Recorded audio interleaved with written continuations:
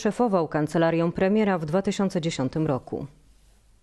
Sądy pierwszej i drugiej instancji potwierdziły zaniedbania Tomasza Arabskiego oraz współpracujących z nim urzędników przy organizacji lotu do Smoleńska, który zakończył się katastrofą. Bliski współpracownik Donalda Tuska oraz urzędniczka Kancelarii Prezesa Rady Ministrów usłyszeli wyroki w zawieszeniu. Złożyli jednak kasację do Sądu Najwyższego. Ten uznał ostatecznie, że sąd drugiej instancji był nienależycie obsadzony i skierował sprawę do ponownego rozpatrzenia w sądzie apelacyjnym. Sąd Najwyższy podważył tym samym status sędziów sędziów wskazanych przez Krajową Radę Sądownictwa funkcjonującą na podstawie nowych przepisów oraz powołanych przez prezydenta Rzeczypospolitej. Z tego powodu orzeczenie budzi duże kontrowersje.